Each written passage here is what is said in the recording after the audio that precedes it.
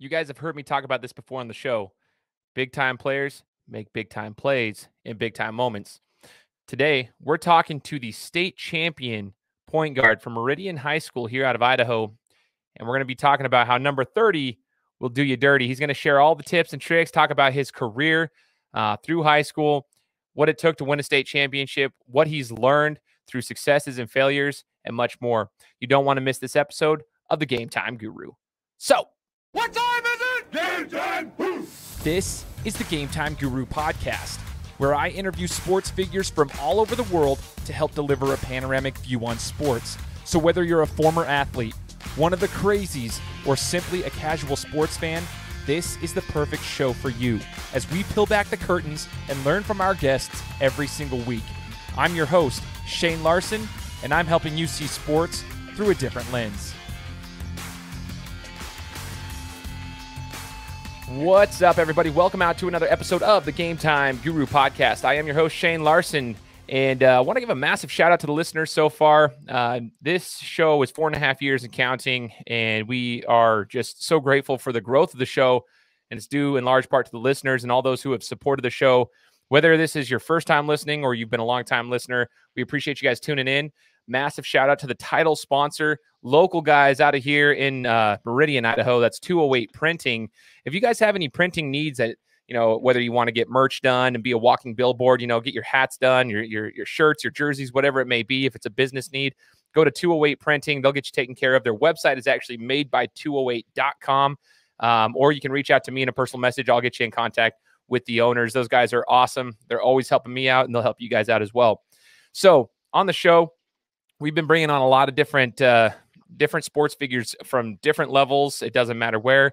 But recently, in the last couple of weeks, we focused more so on some some of the local athletes, um, and, and, we we did that for a reason. We want to spotlight some of these guys uh, because they know what it takes to compete at a high level. And today's no different. We're going to be bringing on the state champion uh, point guard out of Meridian High School. His name's McKay Anderson, and we're going to be learning from him. So, McKay, thanks so much for joining the show, man. No problem. Happy to be here.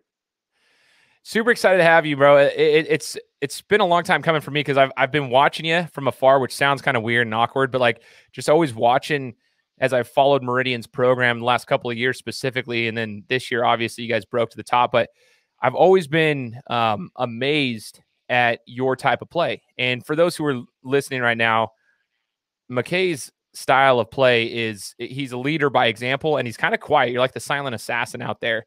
Um, so I want to get to know a little bit more about your background, McKay, before we even get to your senior year when we talk about the state state championship run that you guys had, the historic season at Meridian.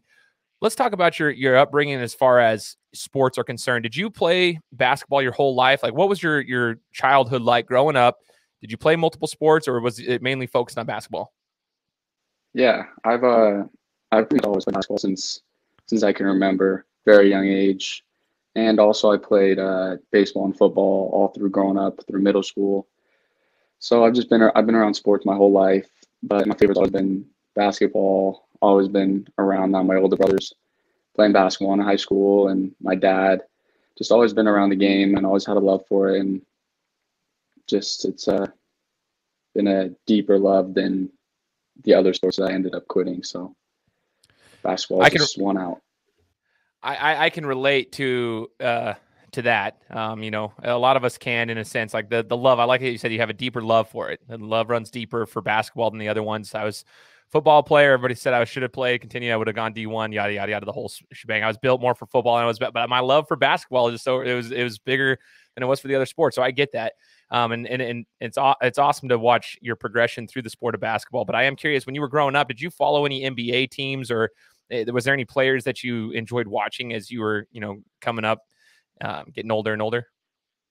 Yeah, I've always, I've always been a Phoenix Suns fan since that was the first team I started liking, and my favorite player on that team was Steve Nash. So I tried to on the game after his a little bit with just being a floor general and finding the right people and scoring when necessary, and just really model my game a lot after him. And stayed with the Suns. Love Devin Booker now, Chris Paul, especially his year right now. It's awesome to have on our team. So yeah, it's just been the Phoenix Suns for me all through. That's actually that makes a lot of sense now that I'm. Uh, if you ever watch McKay play, Steve Nash, that totally makes sense now. Holy cow! Okay, so yeah, that's that's that's a very very smooth comparison because the way you play McKay is is very similar in that regard. You are a floor general, and then even Chris Paul. Uh, you just mentioned Chris Paul, the veteran who's over there with the Suns, leading that team to an awesome season so far. Um, it's kind of cool because those are some elite point guards, good ones to kind of you know, study and see how they play the game. You know, one of the things I want to ask you about, McKay, in the sport of basketball, floor general. Okay, you're a point guard, an, an elite one at that. Being a floor general, what does that mean? You hear that term a lot, and a lot of coaches will say, you know, you need to be a floor general. You need to be a floor general. What does that mean to you? How do you be a floor general? Uh, I think being a floor general is a little bit of everything. Like you come down the floor, you got to get everybody in the right spot, be commanding with your voice, and get everybody into the offense. Um, facilitating the ball, getting it to the right player, the player that's hot, the player that needs the ball, has a size advantage, you know, um, taking care of the ball, not turning the ball over, and shooting when open and knocking down easy shots.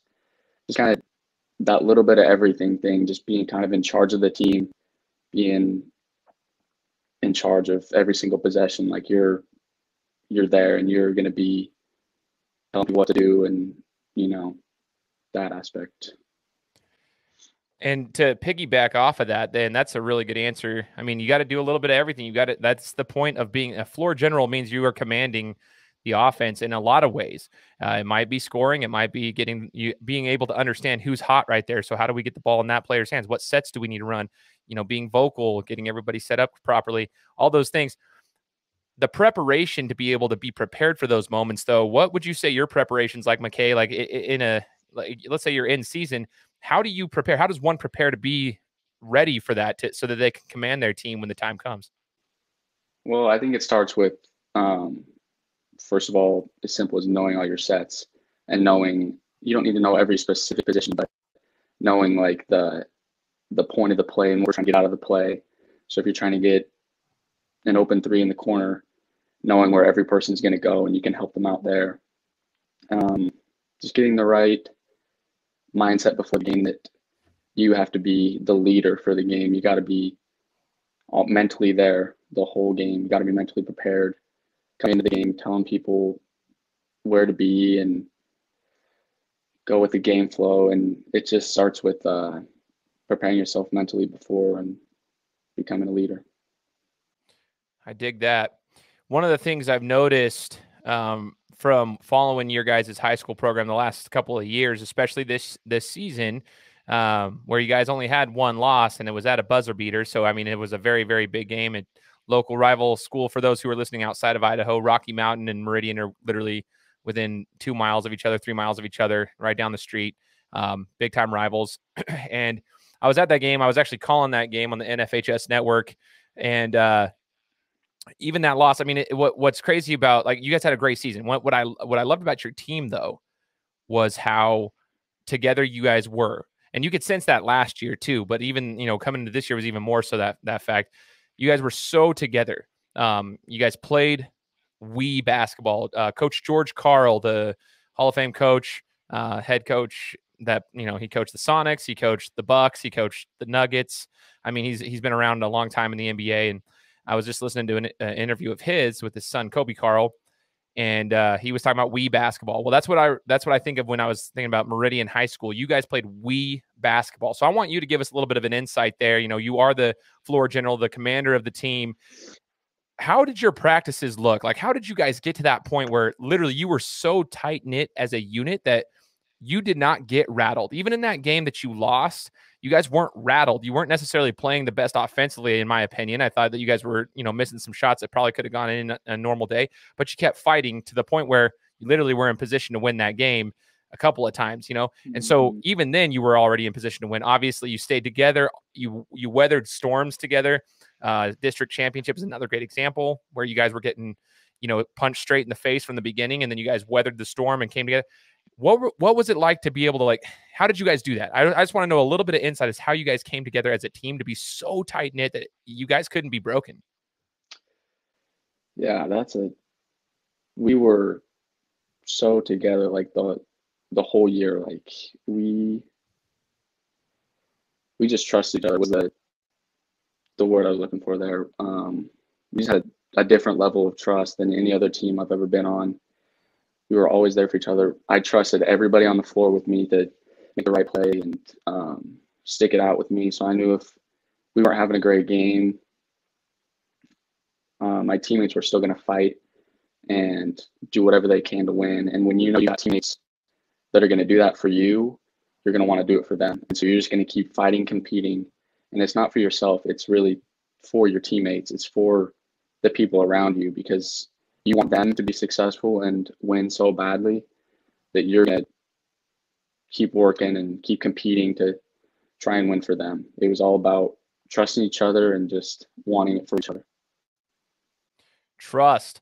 I love that. I think uh, for all the listeners out there, whether you're a parent, a coach, and maybe you're an athlete yourself on a team right now, um, trust that that comes with you know showing up for one another. Each each each person each person has to trust each other, and you gain someone's trust by being able to you know know where you're supposed to be on certain sets, and you prove that to each other.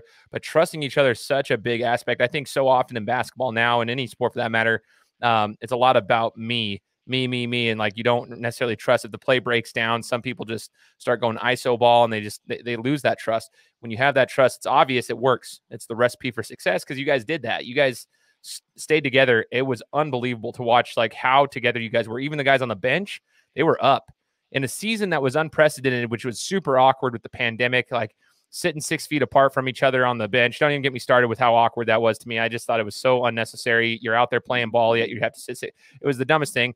Um, but you guys were still loud and you were getting up there, and there was very few fans that were allowed in games. But you guys didn't. You didn't let that stop you. You guys were staying together. You were loud, as awkward as it may have been in some of those gyms. You guys did what you were trained to do and what you guys practiced, and I thought it was super super cool. Now we're going to talk more about yourself though, because see, you like I said, you're the silent assassin, and when when when we were covering the state championship basketball game, we were talking to Lake City's um, sophomore forward Blake Buchanan afterwards, and you know I was talking to Blake.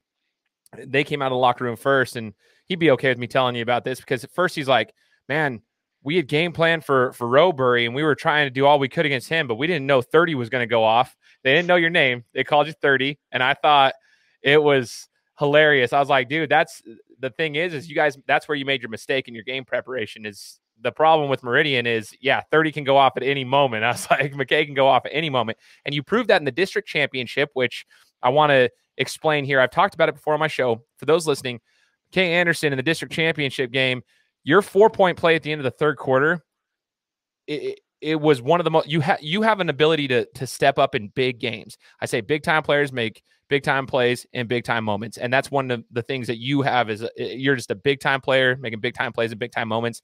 District championship, four point play at the end. I mean, it was unbelievable. At the end of the third quarter, you guys were getting punched in the face, and you guys had a, a one minute spurt at the end of the third quarter where you guys had a nine nothing run at the end of the third quarter. Like, are you kidding me? Like, in one minute, you had a nine nothing run. You ended up taking the lead, and then you kept that momentum going in to win it, due in large part to yourself. And then in the state championship game, you had 19 of your 23 in the first half, and uh, go a figure, another four point. Unbelievable how you were able to step up, and they they were saying how they just weren't prepared for you. So when it comes to those big time moments, you're in these championship games, which not every athlete gets to play. Uh, you were blessed to be able to, to be in these high pressure situations how do you go about it? Like, what is it in your mind, McKay, that just takes you to that next level where you're like, okay, I got this?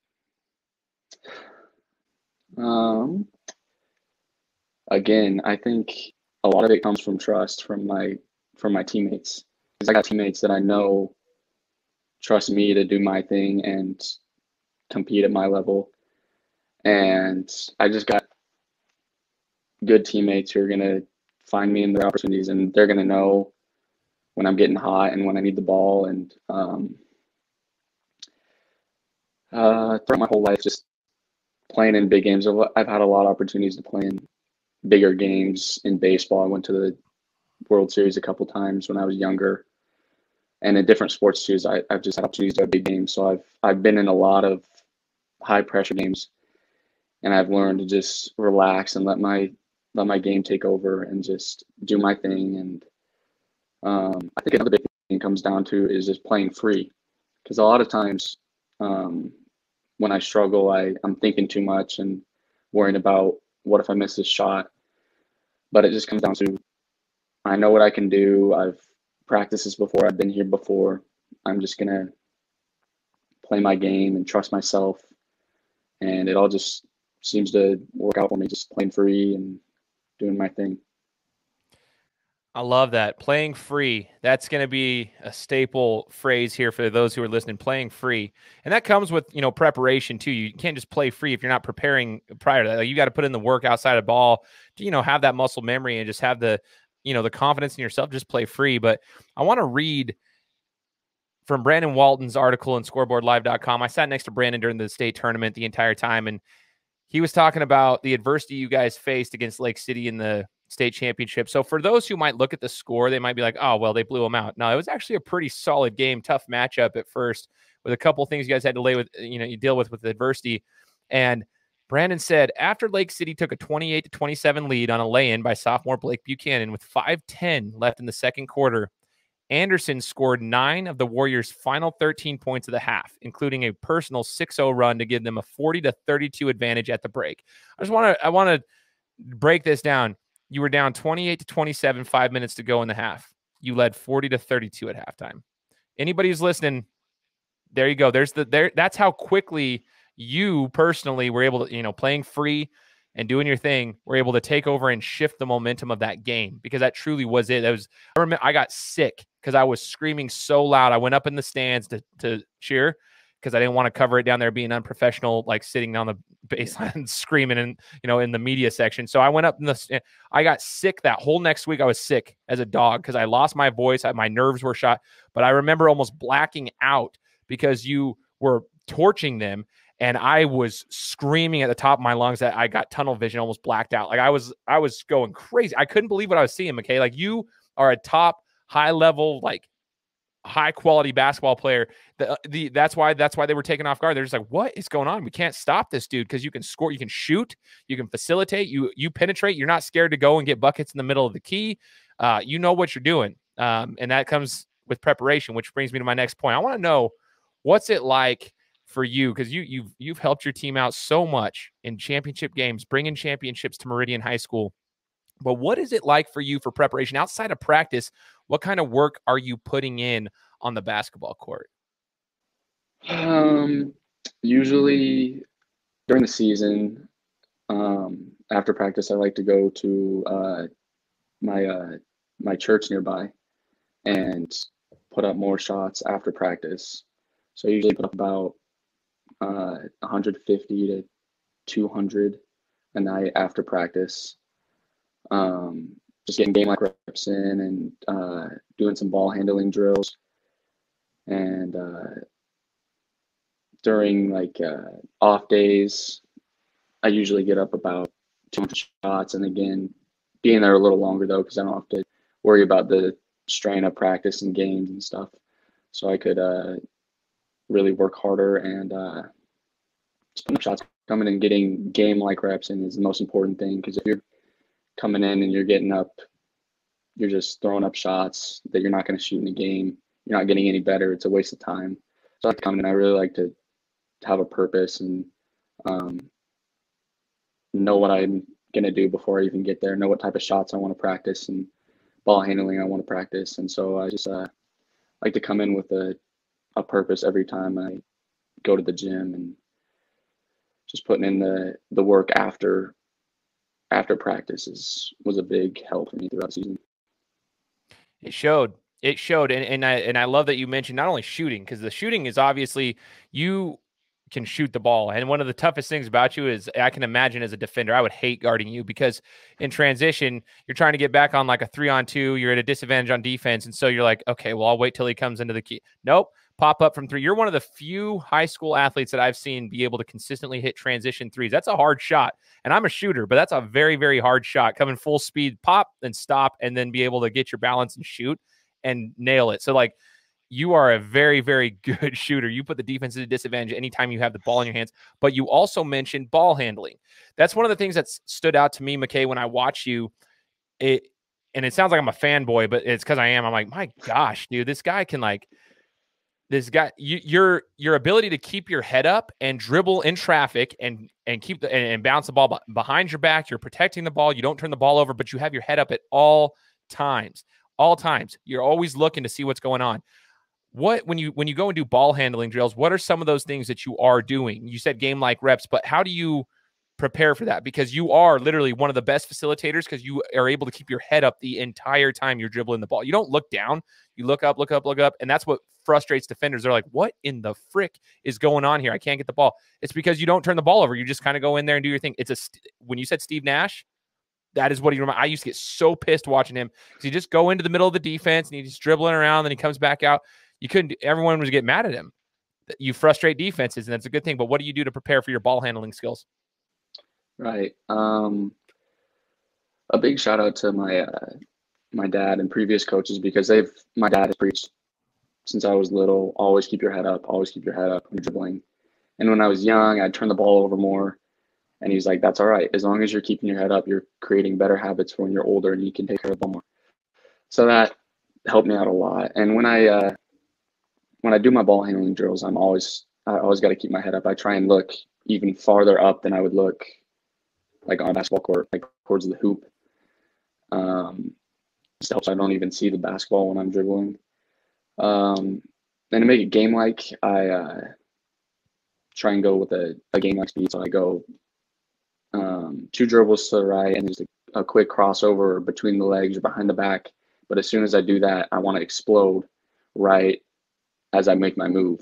And so that really helps in a, a game like scenario because a lot of times when you're doing ball handling drills, you're just kind of lazy with it. But if you really practice it like you're in a game and you're going full core fast uh, fast break, that helped me out a lot. And just um, yeah, keeping my head up always when I'm doing those uh, dribbling drills and doing it game like speed.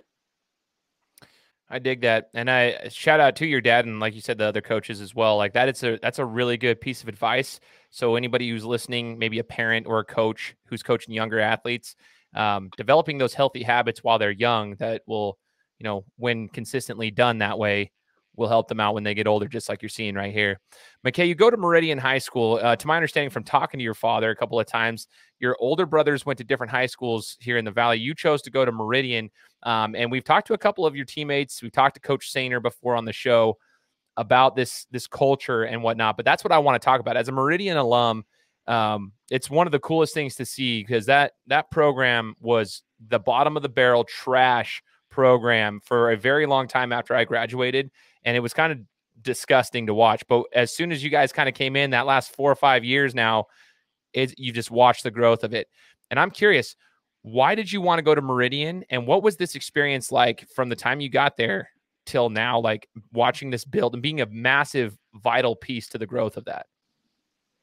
Gotcha. So I'm actually I'm supposed to be in my Boundaries, but um, I decided I wanted to go play. I'd known um, Coach Sainer previously, just from playing club basketball. I just known who he is and really liked him, and uh, so he was a big part of me going there because I knew he'd be a, a, great coach for me. He'd push me, uh, and also I really wanted to be a part of um, bringing the program up because uh, Rocky's always been a great program. They're always going to be top of the top, you know.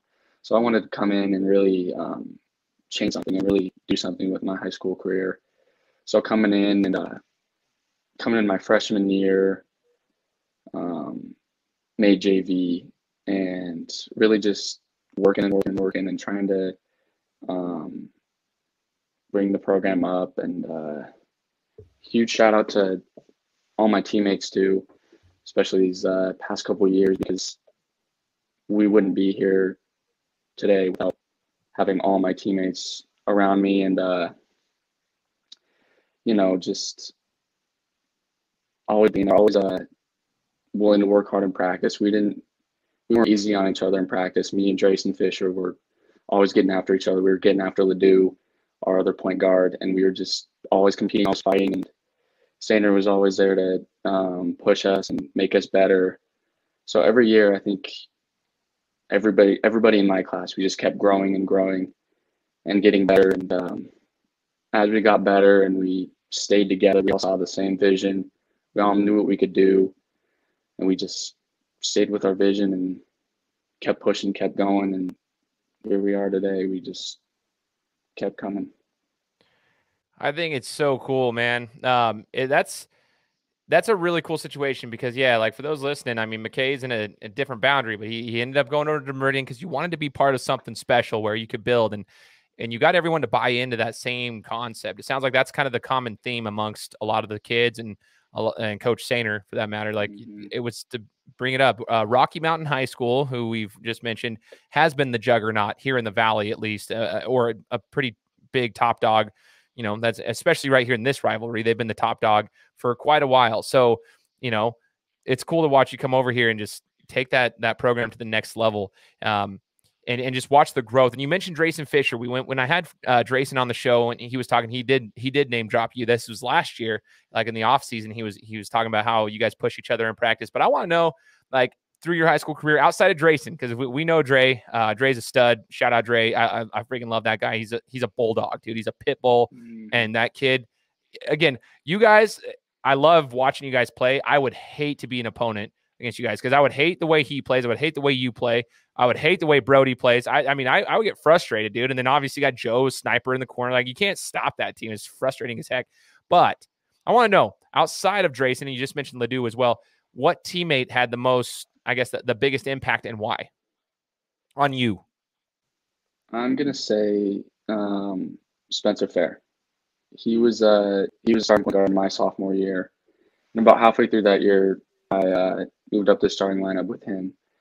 But every day in practice, he really um, he really pushed me because I mean I was a small little sophomore and he was a he's a big kid. He's a he was a senior and he was a big kid, so he'd bully me around, and he he he showed me what the physicality needed to be like to compete at the varsity level, and he really showed me um, how to be a starting point guard on a varsity level team. So I'd just say he he really showed me the ropes on my first year on varsity, how to how to run a team kind of kind of thing and the physicality. I love that. So for all those upperclassmen that might have some younger guys on the team, listen to that. Take note of that. Like you can lead them, uh, prepare them, and leave the place better when you go than when it was when you got there. Like leave it in a better situation. That's what he did for you, and that's cool to hear because you you probably had the same exact effect on other people as well, okay? Because you're probably doing the exact same thing, helping those other you know younger kids getting better, getting better, getting better. You know, you guys get to the state championship game, and I I want to talk about this because what a lot of people don't realize one, uh, the Idaho Center, it's just the state tournament in Idaho. It's three days, three games, and uh, and and Coach Sainer said it best once. It's not necessarily always the best team that wins the state championship. It's the team that plays the best for three straight days. It is very difficult to play your A game for three straight games. I mean, in, three days for that matter, against high level competition.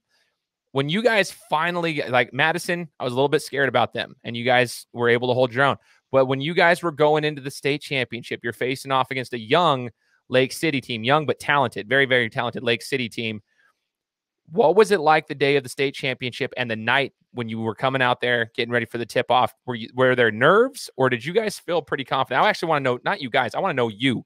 What was your thought like going in there? Because obviously we talked about you played at a high level, but I want to know what your feeling was when you got out there. Like, okay, this is what we've played for. We're we're actually in the state championship game. Yeah, yeah, I was actually, I mean, all three days, I was pretty nervous throughout the whole day because not just nervous, just like anxious to get to the game.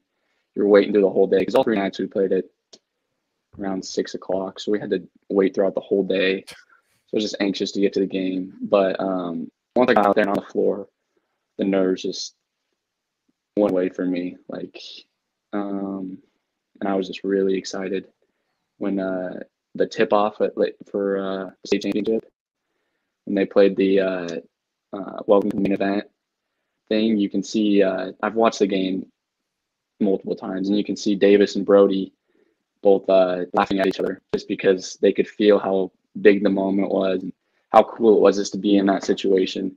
And so I was right there with them. Like it was just super cool. I've always wanted to play in a state championship my whole life. I've come to the state tournament every year since I was young.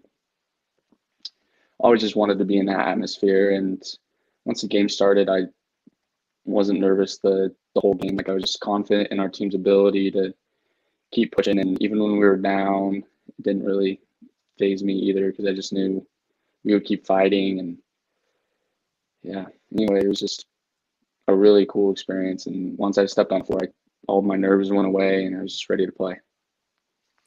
What's up, guys? I want to give a quick shout out to the sponsor of today's podcast, Idaho Premier Basketball. Idaho Premier is a club basketball program here out of the Treasure Valley.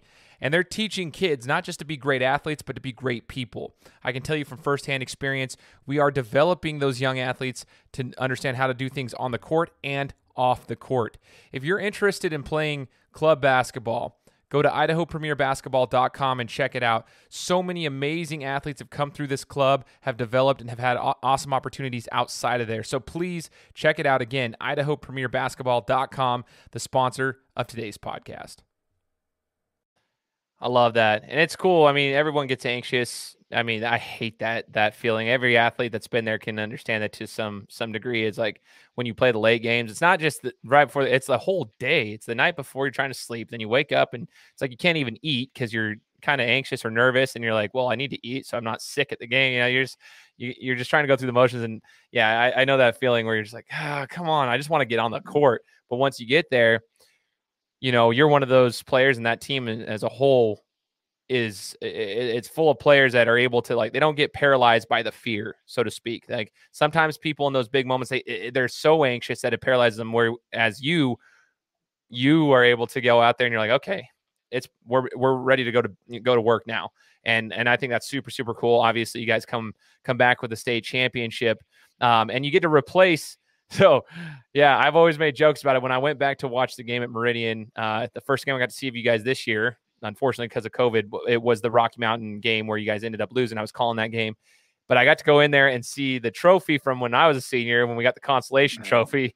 It's got cobwebs all over it now. At least you guys got to bring something back that's going to be uh, worth putting there and taking care of and shining it, not letting the cobwebs get on it. Um, but touching the the state championship trophy and and everything that you know the the pictures that you guys have seen from you know diff- different media outlets, the Idaho Statesman and others. What was it feel like? What was the feel like, McKay, when you guys knew when you know eh, near the end of the game, you kind of knew it was over. We're just waiting for the clock to run out.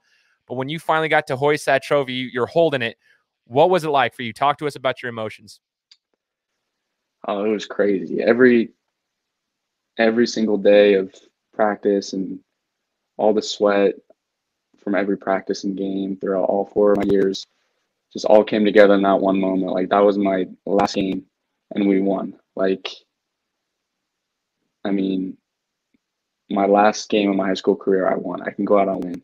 And it was just so cool. I was so proud to bring a championship back to Meridian because we deserved, we deserved it. All the people I've played with in my past couple years, they deserved it as much as we did. They're part of us winning as much as we were, and it was just a great feeling to be able to win to win that trophy with uh, all my teammates. So I just trusted so much and cared so much about.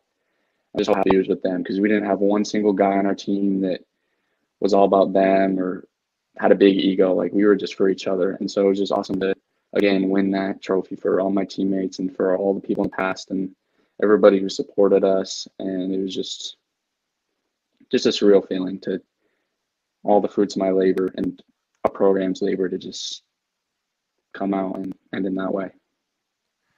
I love it, man. I can only imagine. I think it's super, super cool. It was the it was truly like a storybook ending. It's one that I was always hoping for because there's a lot of times, a lot of stories where the best team, the team that put in all the work like you guys did, they don't end up on top. Uh, they might falter at the end or something. Then sometimes they don't get it. But this one, I was just hoping and hoping and hoping that it would just all click. And you guys did it. You executed well, and you got it. You got it done. I mean, last year we saw a very similar situation where a top dog should have walked through the state tournament and you know they faltered you know they they they, they fell in the second round and you know rocky didn't make it to i mean they were a nationally ranked team at one point last year and they they, they couldn't get it done so that's that happens more often than not so to see you guys be able to just come through and actually execute every single game and get it done and you know all of that stuff i can just imagine how happy you must have been and, and happy emotional whatever but those are some big time memories plus you get to put a ring on it which is pretty sick to say Mm-hmm. uh, whenever that happens you should be flaunting that like yeah that's that's an amazing amazing accomplishment i do want to ask you a question too mckay as uh, you got the the high school experience at a very very high level at meridian but you also are a club basketball player so you play club ball that's like you know it, AAU slash club ball very similar situation here and i want to know your thoughts on club basketball um, shout out Idaho Premier. I want to tell you know they're sponsoring this episode. Actually, is is one of the sponsors. You guys will hear that here with that within the interview. But uh, Idaho Premier is the club that you're currently playing for. But I want to know just club basketball in general. Do you feel like that's helped you as well develop as an athlete? And if so, how has uh, club basketball helped you in in your athletic journey through basketball? It's been huge for me. Club basketball has been a huge impact on my development and getting better. Um, I played club since third grade, I think. Started on slam, and just being able to um, travel to different places. Like we went to um, the first time we went to Portland, we got killed a couple times, and it was just like an awakening. Like, wow, like we're not we're not that great right now. Like there's a lot we can improve on. And so just growing up and all those extra reps you get, like through school ball, you get a lot of reps, but it's a lot of more structured reps. Like you've got a specific role that you have to fill. You got plays you got to run, and you got one goal and it's to win. Where with club, you have another goal, which is to develop your game. So even if you lose that game, which obviously don't want to do, you're still developing yourself, and you can try out different things with your game during club that you wouldn't be able to do in school. They can help you develop, and uh, if you're successful with that, then you can bring that to school ball and just being in club just brings up so much more experience and has just helped me out so much. So I'd recommend that to anybody who wants to get better at basketball. Joining club and traveling and playing in tournaments, it just helps me improve so much. I'm glad to hear that. One thing that I'm I'm realizing in the club game, I mean, I've covered club for a long time. I'm finally being able to coach in club. Is you know sometimes you, you guys have currently this year like I, you've been playing with a lot of the same guys a lot, but like sometimes you get a couple guys from your high school team that play on the club, but you get guys from all around. How do you think that's developed your game? Because I, I find that actually super beneficial in my opinion. While the chemistry might not always be 100%, I feel that if you're able to play with other guys, that actually helps you get used to the next level because you learn different tendencies and like you said you get to be able to like work on other parts of your game because maybe you have an athlete on on on your team that you don't normally have on your school team. So you get to utilize they can do other skill sets and then frees you up to do other things. But i'm curious your thoughts on that being able to play with other players in the valley even on your own team not necessarily the competition but even on your own team. What's your thoughts there? Does that help? Um, have you found that beneficial or have you not even thought about that really No, I actually have thought about that multiple times. I've talked about that with other people before, playing with uh, different people from different teams, even from the SIC, is just super beneficial. You get to play with them, see what they're like, see what their game's like, and you can kind of um, shape how you play in that game, kind of off of each other, off of different people. So if you um, if you continue to play with different people year year in and year out, you're gonna um, learn how to play different ways. You're gonna learn how to how to be effective in different ways, and you're just gonna learn how to play with all sorts of different players, which is super important for anywhere where you, anywhere you could play. You're always gonna have to learn how to play with new people and how your skills are gonna best suit the team, the people you have. So yeah, I'd say it's really beneficial to play with other people not from your uh, school team. Super, super cool, man. I, I like hearing that from you too. Someone who's in, in the grind and, and working um, as a, as a player. You guys have quite the the club team. It's it's insane. I was telling people. I mean, you're competing at a national level this year. I mean, it's like crazy. Um, some of us are sitting there. I'm like, I don't know how any. I don't know how you guys even lose. Like the way you guys compete is just unbelievable. That's that is something to watch. If uh, people want to hear this and go check you guys out, the 18U squad over there, it's it's it's uh it's something special. You think Idaho doesn't have ballers? I beg to differ. That's you guys got some crazy good talent on that squad. Um, and it's obvious you guys have been putting in work for years and now like you get to to bring it all together for this one run in, in the spring. It's kind of cool. Um, I want to as we're as we're transitioning to the end of the interview here, um, a lot of people love to hear the successes, but a lot of people learn from failures.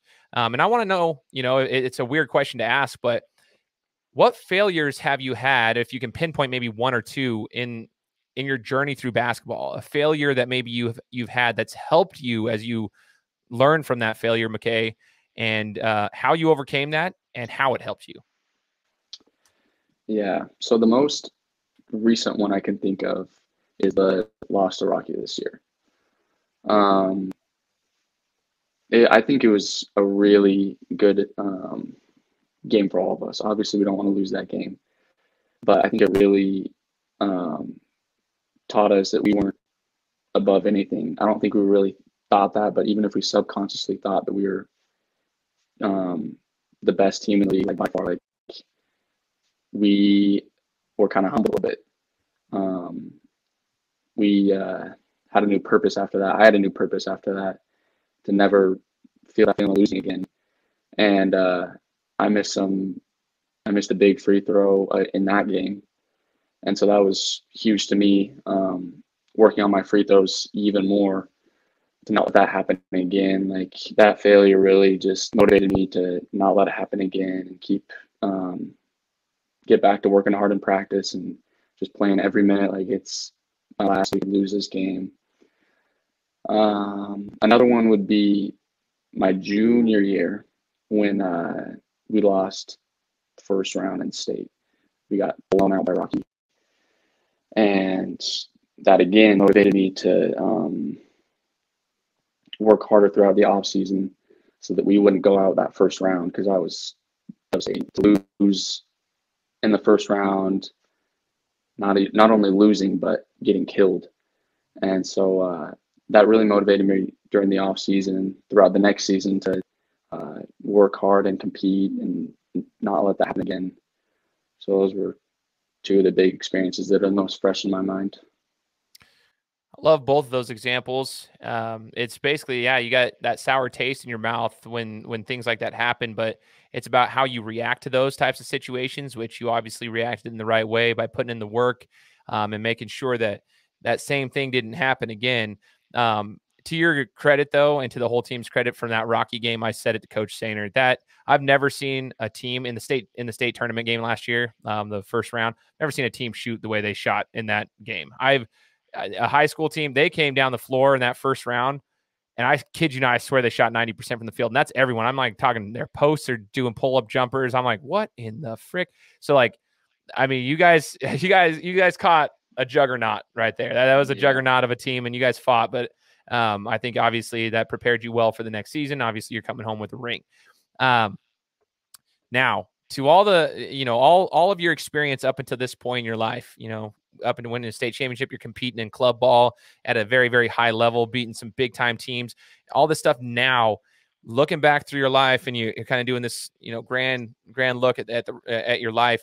What is one of the biggest pieces of advice you'd give to athletes that are maybe you know younger coming up, and and you'd say what what has sports taught you that you would advise you know, and now knowing what you know, what what's one big piece of advice you'd give to those uh, young athletes? I think the best piece of advice that I've gotten, I've learned throughout playing basketball is just compete. Compete in everything. Um, it doesn't matter whether you're in practice, scrimmage, a game, consolation bracket. It's always the right thing to go out there and leave everything on the floor. Um, you're never going to gain anything just going out, going through the motions. So when you have the opportunity to go and play basketball and get on the court, give it everything you have so that you can look back and be like, even if even if our season ended on a loss, I could look back and be like, hey, I did everything that I could have possibly done to give us the best chance of winning. And so I'd say just throughout your whole life, just always compete because that's the only way you're you're gonna get better is by competing every single minute, every time you're on the floor. I love that. That's a huge piece of advice. Um, so take that. If you're a younger athlete, listen. You know, McKay's been there. He obviously knows the road to success, as you guys have heard today. So take that. The last question I have for you. First off, I got to say, I, I, might name the title of this podcast "Number Thirty Will Do You Dirty." I saw that sign. I think that is one of the coolest things, and like it's like there's no for for a quiet guy like yourself, silent assassin. Number Thirty will do you dirty. Sure will, man. You freaking know how to put the work in. You know how to to dominate teams, and yeah, it, you you frustrate the opponents because you're so elite. So that that sign first, I have to say that I think that's going to be the name of this podcast title. Is Number Thirty will do you dirty. Um, thought that was that was beautiful, beautiful uh, sign there at the the state tournament game. Um, what's next for McKay Anderson? We want to know, like, if if you're looking at you know the next you know two to five years, what should we expect to see from McKay Anderson? Uh, so this summer I'm going on a mission for the LDS Church, and then after that I'm playing somewhere for college basketball. I've uh, talked to a couple schools. I haven't really I haven't decided on where I want to play yet, but I also think over the next couple years, I'm going to kind of figure out where I want to play, what I want to do, and but you'll definitely see me playing basketball somewhat the next level. Um, but yeah, I haven't I haven't picked my uh, my school yet, but I'll be I'll be somewhere playing basketball. Ooh, we're gonna see your name popping up, and I'm just telling you, man, like having served a mission myself and coming back, like if you think McKay is dangerous now, wait till the wait till the dude's like 20, okay, and he's just hitting his peak genetically. Then then it's gonna be it's gonna be scary, man. Like number 30 will do you dirty. Thinks you think that's now? Wow, it's gonna be it's gonna be something uh, when you when you hit your genetic peak that's going to be different, man. So I look forward to seeing it, McKay. We look forward to supporting you on your mission as well as in your basketball journey moving forward. And uh, I just want to say thank you for joining the Game Time Guru podcast, brother. It's been fun talking to you today, man. Yeah, it's been awesome. Thanks for having me. Absolutely. For all listeners out there, make sure you subscribe to the podcast. Leave me a five star review on Apple Podcasts if you can, so we can get this out to more people. We've hit 91 different countries, 65,000 downloads. We're looking to expand that. Let's get that into 100 countries so 100 countries can hear McKay's story. You got to leave me a review on Apple Podcasts, though, guys. So please do that. Share this with your friends and family, and we'll be coming to you next week with another interview. Guys, thanks so much for listening to another episode of my show. Now, if you could go and do me a favor, head over to iTunes, give me five stars, and leave me a review, it would be greatly appreciated. Thanks, guys. Appreciate your support.